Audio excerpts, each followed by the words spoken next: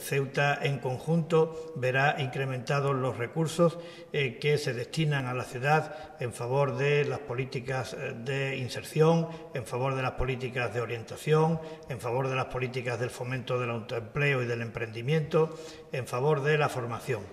Podemos cifrarlo en torno a los 25 millones de euros estos 25 millones de euros eh, a, grandes, en grandes números, eh, la Administración General del Estado, eh, la Secretaría de Estado, el Ministerio de Empleo